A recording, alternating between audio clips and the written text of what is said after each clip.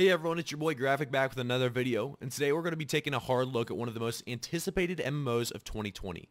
Like most of you know, New World MMO is the first game ever created by Amazon, and many players have been waiting a long time for a game of its kind. New World is a massively multiplayer, open-ended sandbox MMO set in a cursed and supernatural version of North America in the 17th century. Players can be anything they want, from farmers to soldiers to lone wolves. Most of my subscribers, whether you are from Albion Online or World of Warcraft, are just looking for a new experience. I know some of you are somewhat bored and looking for something new, so New World may just be the game you have been looking for. Why do you, or would you, want a new MMO?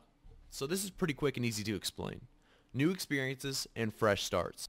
Now I am like most of you, and I look up guides for new games just like the rest of you. However, the amazing feeling of being one of the first players to venture down some of these paths and learn things for yourself without following guides and not knowing what lies ahead of you is a great feeling. So yes, most people look forward to a new MMO experience and want to be some of the first players to reach certain goals. Playing New World MMO would mean you are part of Amazon's first video game. This is huge. If you don't know somehow, Amazon has a massive amount of money and an insane reach to consumers. This brings me to my next topic, player population. Almost nobody wants to play a game with a low population. I know personally, it has stopped me from playing video games in the past. Games I once loved with low population is just less fun. A game with low population can start to feel like everything you accomplish is worthless.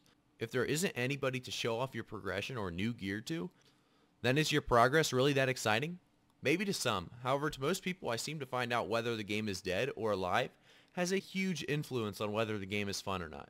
My hopes are, with New World being created by such a large company, Amazon will continue to advertise and do whatever it takes to keep the population rolling with high numbers.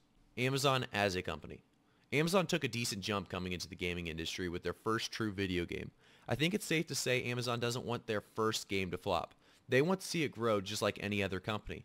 And like I previously said, what company would make this happen better than Amazon themselves? I don't think they would accept failure as an outcome. This is their chance into yet another market.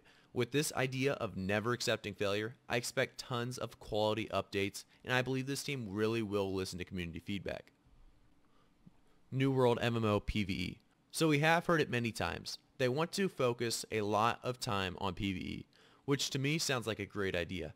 Obviously PvP is very important, but with a decent PvE scene and decent PvE activities, PvP would ultimately become useless.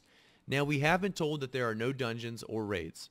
However, we have also been told many, many times that they are open to feedback and are willing to add anything the community finds necessary. Overall, from what we have been shown, the PvE aspect should be entertaining for sure. They have talked so highly of PvE in New World that I expect a ton of new ideas and ways to play if you are a PvE only player. New World PvP. New World PvP. So yes, you may have heard, New World is backing away from the open world PvP always on aspect and taking their game into an opt-in, opt-out PvP aspect where you can flag up to opt in to PvP at certain times in your gaming session. They did say this would give players better experience and more loot.